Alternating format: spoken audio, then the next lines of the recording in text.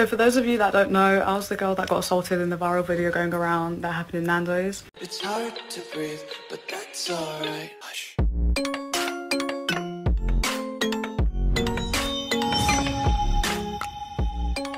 Yo, yo, ladies and gentlemen, you know what time it is. It's your boy, Yeshua the one and only. And today, guys, we are on the request line. Okay, so I've received some requests in my emails and many places, but this one came through to my email. I'm not going to read out the person's name. Okay, maybe they want to be, uh, you know, anonymous, but uh, the initial is SL. He said, or she said, I don't know. Hi, Shady, comment on this, please. Okay.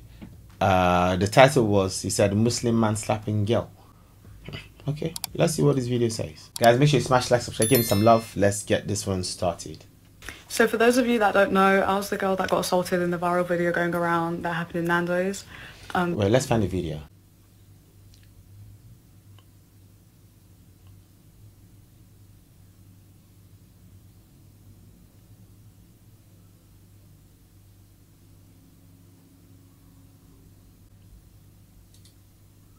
Right. The man was with his family. He was with a wife and a child, and he just chose to slap a, a waitress. Like, what happened? Like, what would make him just do that? Like, it doesn't. It doesn't make sense. I mean, even if someone gets your order wrong, yeah, you shouldn't just slap them like that. If they say something to you, I think you should report them to uh, the supervisor or the manager. Speak to someone, report it. But to slap someone like that, that is very demeaning. Really, really demeaning. Trust me. Yeah, that is sad. I mean, if I was the girl's boyfriend and I see someone, a customer slap my, my girlfriend like that, or my sister, or my daughter, uh, it's not going to hear the last of it. Anyway, so for those of you that don't know, I was the girl that got assaulted in the viral video going around that happened in Nando's. Um, oh, look at her. She's very pretty as well. Really, really pretty. She seemed really calm. Um, before I get into what actually happened, I'd like to thank everyone for all the kind messages and the support I've been receiving. Okay. And I'd also like to clarify why I'm making a video. It's Okay. probably going to be the first and last video I make on this. I'm someone who values my privacy. I don't think the situation would have garnered as much attention as it has, but the support's been overwhelming. Okay. Wait, wait, wait. Okay, let's see. The when she was bringing the food, the woman just grab the plate. It has, but the support's been overwhelming.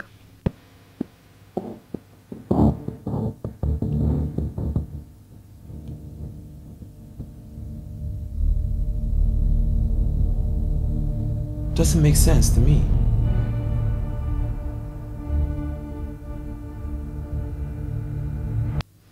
So with all the attention that the video's gotten and seeing everything in the news about violence against women, violence against young women, violence Mhm. against girls, Yeah. I think it's important to speak up about what actually took place. Okay. Lastly, before explaining, I want to say what's more concerning than the man's behaviour was the failure of the Metropolitan Police and their conduct. I was grossly let down by them.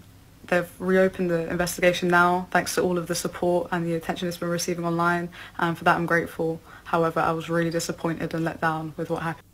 Wait, the police let her down. Oh, okay, it's getting interesting. at the time with the police, which I'll get into. Okay. So the man's come in with the wife, I assume, and the baby, and they were sat down by a new colleague. The new colleague didn't give them a high chair. Usually you're supposed to ask, but I think they assumed that they were just going to be given one anyway. That's when they got my attention because they, they were sat right behind me. My back was faced towards them. They got my attention. It was the lady initially, and she, and she already seemed irritated. Um, they asked me for the high chair. I started bringing it. Midway through me bringing it, I realised we're not allowed to put it in that area because that's where we run the food. We run the food back and forth in that area, and that was my station for that day. Okay. So midway through me bringing it, I realised we're not allowed to put it there. I told them I'd double check with the supervisor, which I did. The supervisor said we're not allowed. So, so I relayed that information back to the couple. At this point, the man got quite aggressive with me. He started swearing at me, saying I'm wasting his effing time to sit him somewhere the F else then. At that point, I said I'd be happy to sit them in another section, but to just give me a second. At that point, he said, you're a little effing girl. Why the F do you work here? Sit me the some, somewhere the F else. So it's then I said, let me get my manager involved because I didn't want to deal with that. So my manager's come now. The guy's still shouting, being aggressive, arguing. The manager has just sat him somewhere else with a baby chair. I asked why we're still serving him to the manager. I was ignored and that was that. Some time passes and we notice that the table is clear now, no one's sitting there. We all just assume they left the restaurant. The managers asked me where they've gone. I said, I don't know. We've all assumed they've left. I'm continuing to do my job and I get a thing on my screen to go to a specific table. It was a table in the corner of the restaurant to run their food. So as I'm going and on my way to give the food to this table, I noticed that there's two police officers already in the restaurant waiting for their food. So I've gone to this table now and as I'm approaching this table, I notice that it's the couple with the baby. Okay. As I'm putting the food down, I ask them because they have moved basically without telling anyone, without informing anyone. Usually you're supposed to tell someone um, at Nando's. I, I place the food down and I ask, are you not using the high chair then? Because they've moved by themselves without taking the high chair. It's at that point the man has picked up the plate and whacked me on the side of my head with it. Wait, wait, wait, wait, wait, wait. She was trying uh, to show good customer service, like asking for feedback about the chair that they requested for, and he got triggered by that.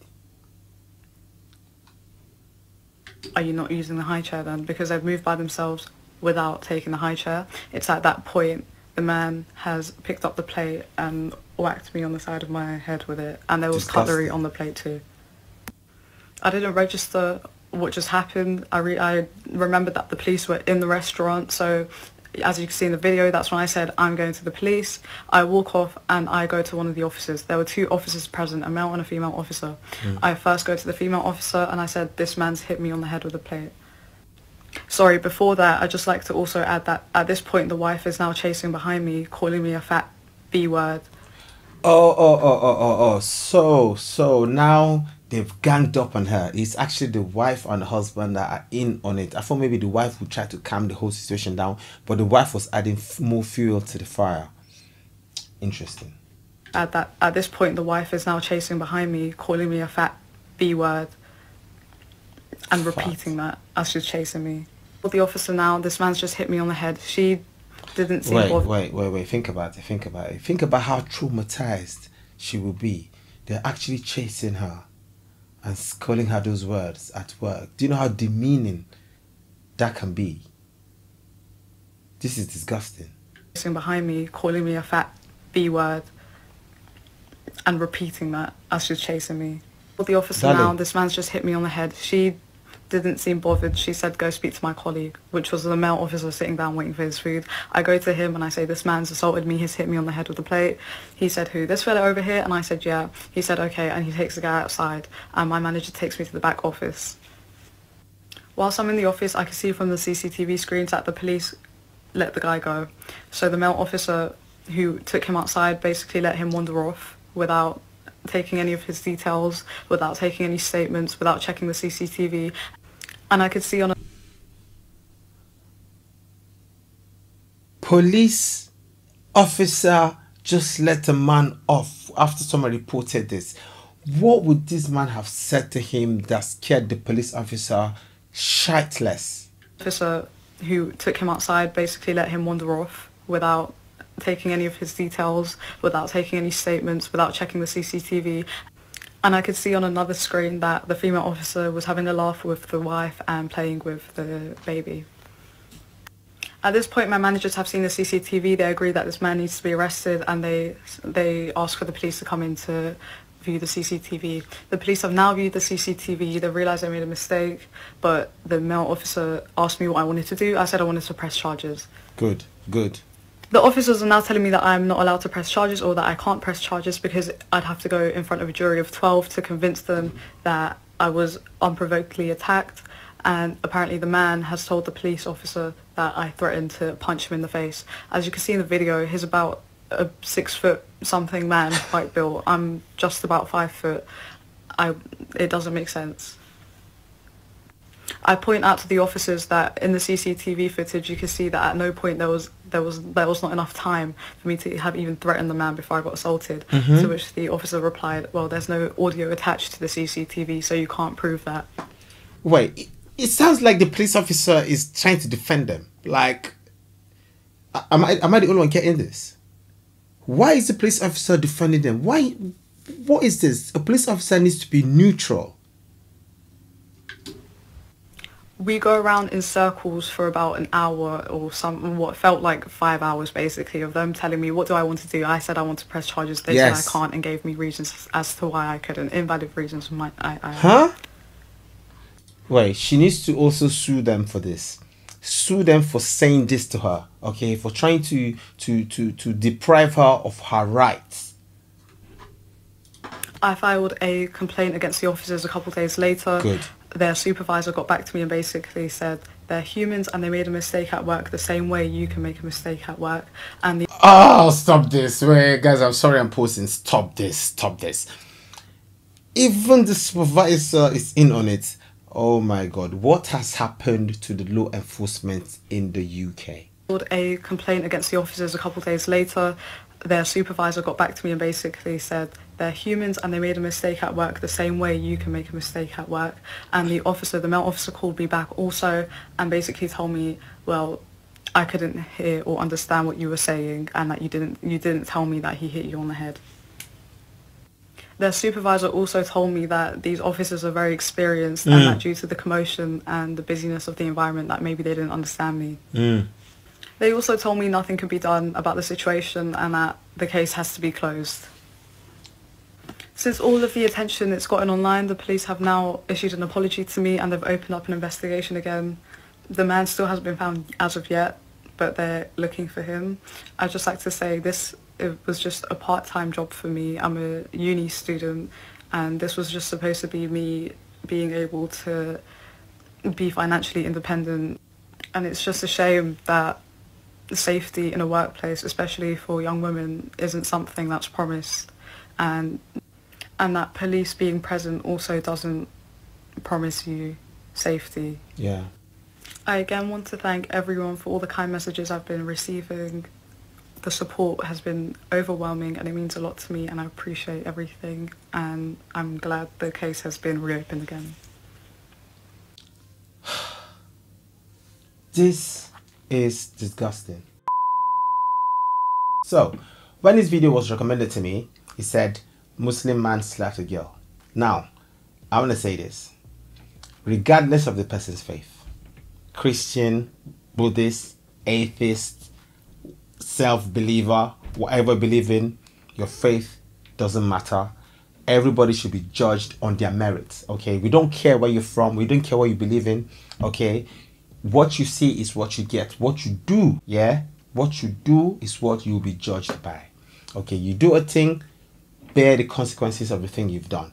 If you work hard for success, enjoy your success. If you commit a crime, enjoy your, your punishment. It's easy, simple. Okay?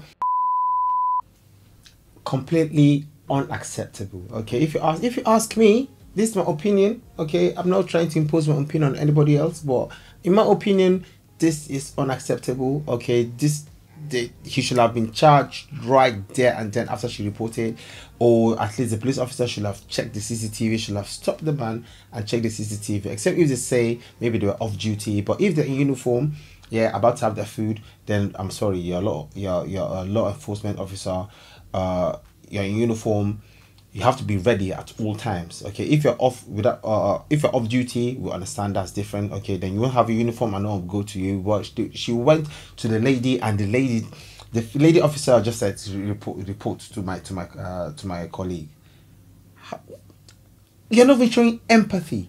I think one of the uh uh the qualities of a police officer should be to have empathy. You should be able to have empathy and be decisive as well. Have good judgment okay? And be able to know how to prioritize what over what okay? You need to know that. You have to have good judgment call. They say you're experienced.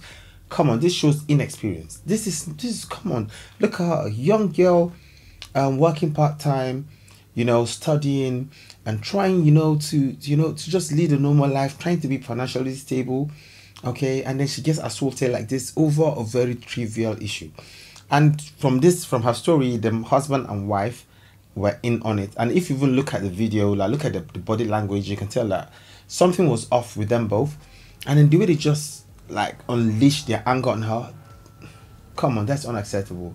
I think yeah, when people go out to certain uh, to to restaurants, you need to treat the waiters, the waitresses, the chefs as your maybe like your friend, okay, like acquaintances. Okay, give them some respect. They need some respect because they serve you the food. Okay, just be nice. Just be a decent, normal human being. Like there's no need to swear at them. If like the waitresses are being rude to you, okay, you can then report them all right, but not taking the law into your hands and just assault someone. You think you're in a third world country? Even in a third world country, you do that, yeah? oh my days. You see things like this that people do, yeah, in the UK, and they kind of get away with it. You try these things like this in a third world country, you're done.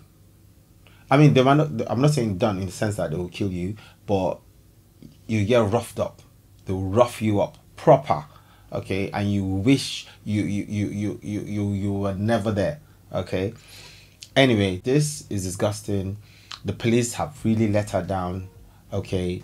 Uh, apart from an apology i think she deserves more than that. They need she needs compensation for how the police acted unprofessionally okay? And also the other person whoever it is that assaulted her yeah assault is not right. I've been assaulted before and i know how that feels okay? It is is not nice okay? As been assaulted at a workplace is the worst one. Is the worst one because there's nothing you can do. But if you're assaulted outside work it's different. At least you can try to apply a bit of self-defense and then you report it okay? But at the workplace you have to be professional because you can get sacked. You can't do anything. You try anything you get sacked okay? They'll say oh that is unethical. You've been unprofessional at work. You have to be an ambassador of where you work you know what i mean? But this is sad really sad. And it's a shame that she was let down by the police force. Yeah it's a big shame. Yeah big big shame on the police. On this one well not on the police uh as a whole unit. Yeah not not on the police as a whole but on those officers that she reported to it's a big shame on them and they don't deserve to be police officers okay? This is wrong. This is ridiculous. Uh, it's a shame. Anyway guys these are my thoughts okay? Not anybody else's thoughts. I just feel like things should have been done better because look at how she'll be traumatized. Not nice. What's, got, what's been going on in this country is sad. It just feels unreal. This shouldn't happen. People should be free. People should be safe all right to to go about their business. And if things happen we should be able to trust the law enforcement we should be able to trust the police the police should be our friends yeah they should enforce the law but Look at, look how the police are doing. Is this how to police? I think maybe the police were scared of being called racist if they did anything. But look at my girlie. Look at the, the lovely girl. Look at the stunning girl. Alright? If you say you're scared of being called racist, okay. Facts. She's not white. Right? She's British. She's not white. We don't I don't know her faith. No one talked about her faith because we don't care about the faith. What we care about is you how you act that is it how you act is what matters okay let's stop labeling people saying oh this faith this this that faith this this this race did this because then we're going to divide ourselves we don't want divisions okay we want equality and right now from a whole story these people were on the wrong the police officers too were on the wrong in my opinion i'm not a judge okay i might be wrong but my own judgment says they were on the wrong okay and they should have handled it better no excuses no excuses. Yeah. Like I said, maybe they were scared of being called racist, but there's nobody anyone call you racist because one, she's not even white. The other guy too is not white. So which race are they gonna say you are being racist to? You're being racist to him or racist to her? Now that you guys are not even doing it correctly, you're looking racist. You know what I mean? So let's just leave aside. Yeah, police officers, just just do your duty, please. Huh? Oh, love you more than words can say. You are me. Oh, you are the light that shine in my way. You are me. Oh, I love you more than words can say. You are me. Oh, you are the light that shine in my way.